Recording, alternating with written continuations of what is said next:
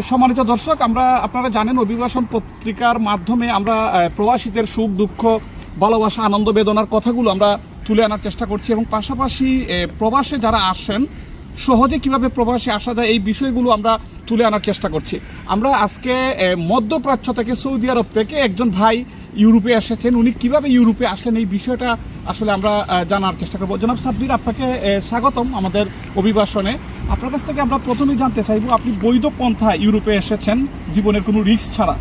তো আপনার কাছ থেকে জানতে চাইব যে আপনি কীভাবে প্রসেসটা শুরু করেছিলেন? ভালো কথা আমি সৌদি আরবে প্রায় দেড় বছর ছিলাম। তারপর আমার লিগেল সব কিছু ছিল ড্রাইভিং লাইসেন্স বা ড্রাইভিং ভিসা এসেছিল আমাদের সৌদি তারপরে আমি আমার সব কিছু ফাইলপত্র গুছাইয়া আমি বিএফএস গ্লোবালে জমা দেই। জমা দেওয়ার পর ট্যুরিস্ট ভিসার জন্য ইউরোপীয় ইউনিয়নের। তখন আমার চোদ্দ দিনে ভিসা হয়ে আচ্ছা এটা চোদ্দ দিন। তার মানে কি এর আগে আপনার কোনো প্রিপারেশন ছিল কিনা? যে আপনি যখন সৌদি আরবে ফার্স্টে গেলেন আপনার কি এরকম কোনো লক্ষ্য ছিল যে আমি সৌদি আরবে থাকব না আমি এখানে কিছুদিন কাজ হ্যাঁ, করার হ্যাঁ। পরে আমি ইউরোপে যাব? হ্যাঁ এটাই ছিল আমার লক্ষ্য ছিল ইউরোপেই আসা।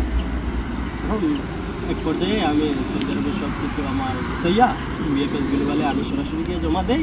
জমা দেওয়ার পর চোদ্দ দিনের পর ভিসা চলে আসে আচ্ছা এটা আচ্ছা এটা কি বলা সম্ভব কিনা যে আপনার কি কি ডকুমেন্ট দিয়েছিলেন বা কি কি ডকুমেন্টস এখানে সাবমিট করতে হয়েছিল? আমাদের দর্শক যারা দেখবেন তাদের অনেকেরই আসলে এই প্রশ্নটা থাকবে।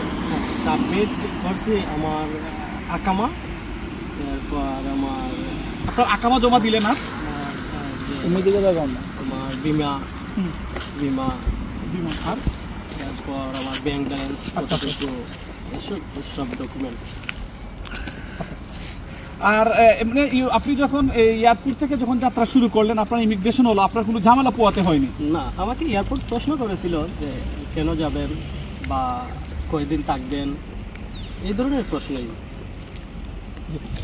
সম্মানিত দর্শক আপনারা যারা মধ্যপ্রাচ্য থেকে, বিশেষ করে আমরা যেহেতু আজকে সৌদি আরবের ইস্যুটা নিয়ে কথা বলছি, যারা সৌদি আরব থেকে ইউরোপে আসতে চান, আপনাদের যদি একটা ভালো ভিসা থাকে যাদের ভালো কপিলের আন্ডারে আপনারা কাজ করেন, আপনাদের যদি ব্যাংক সলভেন্সি ভালো হয় এবং ডকুমেন্টগুলো যদি সব পারফেক্ট হয়, তাহলে আপনারা বিএফএস গ্লোবালের মাধ্যমে আপনারা আপনাদের কাগজগুলো জমা দিতে পারেন। জমা দিয়ে আপনারা স্বপ্নের দেশ ইউরোপে বৈধভাবে আসতে পারেন।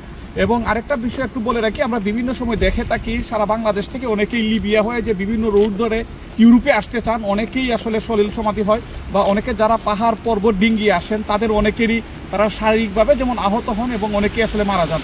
আমরা চাই না যে অনাকাঙ্ক্ষিত মৃত্যু, আপনারা অবশ্যই বৈধ চ্যানেলে বৈধ পন্থায় আপনারা ইউরোপে আসবেন। এবং আমাদের এই ভিডিওটা আপনারা শেয়ার এবং লাইক করে এইরকম আরও প্রবাসীদের গল্প জানার জন্য আমাদের সাথে থাকবেন। ধন্যবাদ।